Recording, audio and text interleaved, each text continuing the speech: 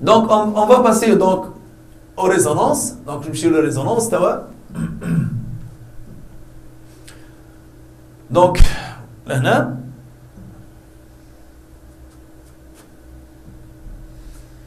كيف كيف عندنا التابلو d'analogie on a قالنا à partir de la résonance d'élongation on détermine par analogie la résonance de charge يعني par analogie هنا on va déterminer la résonance de charge donc عندي résonance d'élongation les formules هذوما اللي خذيتوهم بالطبيعه في في الكور دونك انت باش تطلع توا باش تطلع ريزونانس دو شارج دونك باش نبداو بالايكواسيون ديفيرونسيال دونك نبداو بالايكواسيون ديفيرونسيال Donc,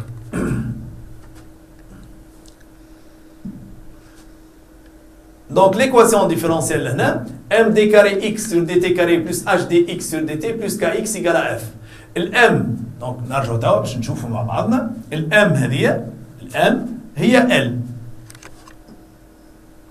d carré x sur dt carré x هي q donc d carré q sur dt carré D'accord Plus H. On a dit que H, c'est la somme des R.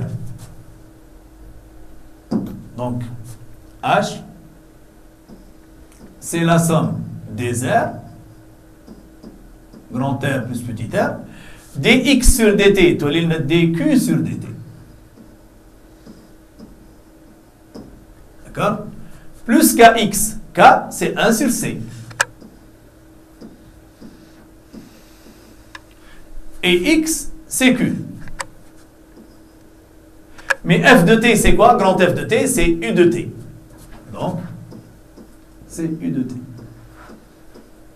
يعني هنا نزيد ناكد انه انا مانيش مطالب باش نستعمل اللوا دي ماي باش نوصل لليكواسيون ديفيرونسيال هذه ليكواسيون ديفيرونسيال اذا كان طلبني فيها راه باش يطلبني فيها بار انالوجي دونك il faut faire très attention donc on a l'expression de xm L'analogue de xm, c'est qm. On peut déterminer qm par analogie. Donc qm égale. Donc, bien sûr, c'est la même forme. Ici, fm, c'est-à-dire um. L'analogue de f, c'est u, um. Sur la racine carrée. D'accord? Donc, le cas, c'est 1 sur c. 1 sur c, moins m oméga carré, m est L, donc L oméga carré, le tout au carré. Donc le tout au carré, plus h carré oméga carré. h, c'est grand R plus petit r. Donc on aura grand R plus petit r au carré, oméga au carré, bien sûr, comme le racine. دونك كيف كيف هذه مانيش مطالب باش نعمل كونستركسيون دو فرينات باش نوصل للاكسبرسيون هذه جو دوا ليتابلير بار انالوجي كيف كيف لا فريكونس على ريزونانس دونك الفريكونس على ريزونانس عندي ان ار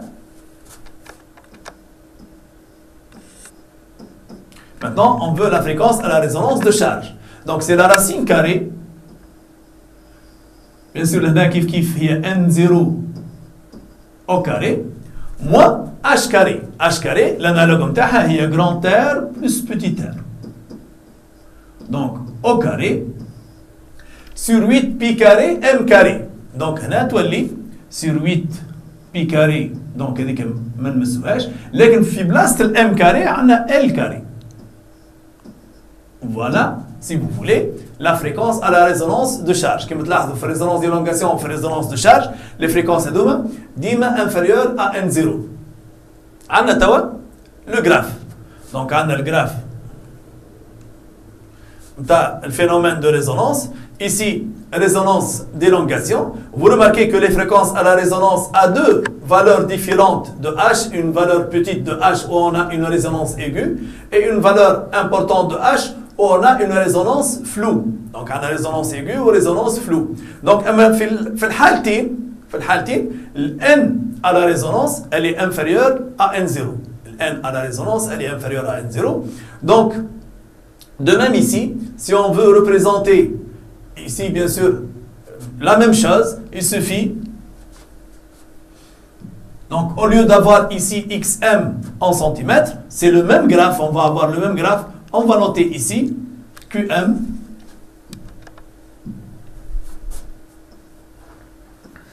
qm en coulomb. Donc ici, c'est le qm en coulomb. Et ici, c'est la même chose, c'est n en hertz. Donc N1R, N2R. Donc ici, au lieu d'avoir H égale à H1, donc ça sera R égale à R1 et ici R1 petite. On a une résonance aiguë. Et ici, c'est R est égal à R2, bien sûr supérieur à R1. Ici, on a une résistance importante pour laquelle la résonance est floue.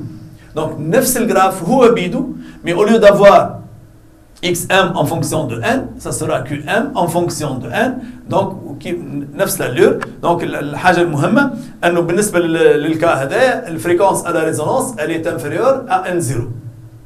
Donc, euh, il y a une remarque ici, c'est que lorsque h est supérieur strictement à h limite, donc on verra ça dans les exercices, donc h limite qui est égal à la racine de 2 mk,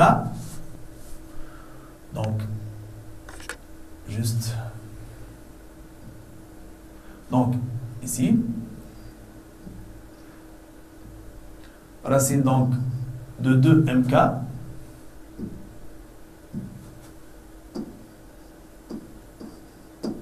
on verra donc euh, la démonstration de la détermination de, euh, de l'expression de h limite.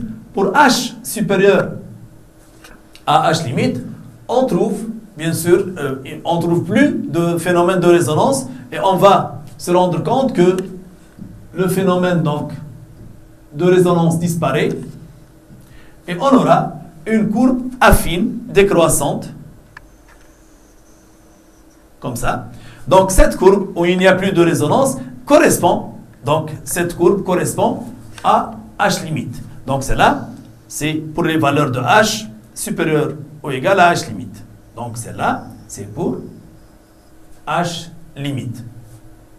Voilà. Donc en ce qui concerne, bien sûr, l'analogie entre la résonance d'élongation et la résonance de charge.